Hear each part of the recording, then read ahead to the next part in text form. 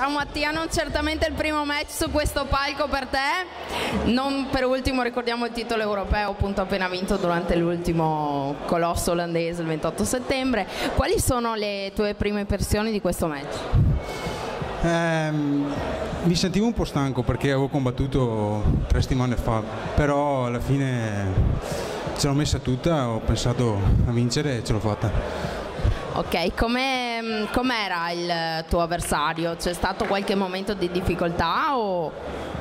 Eh, sinceramente non lo so perché eh, cioè è durato poco alla fine dell'incontro, non, non, sono riuscito a sentire quanto magari era più, più bravo di me in piedi e solo che stasera mi, mi, sentivo di andare per terra e sono andato. Però magari in piedi era più bravo lui. Okay.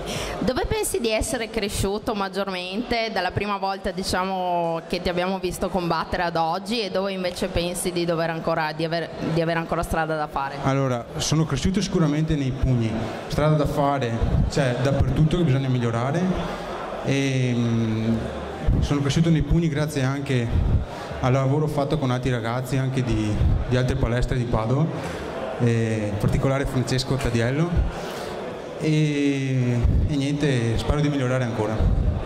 Bene, ti ringrazio e alla prossima volta. Aspetta, devo salutare che c'è la famiglia Schiavolin là. Devo salutare que, que, quella brutta gente là.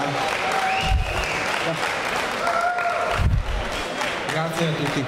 Bene, alla prossima.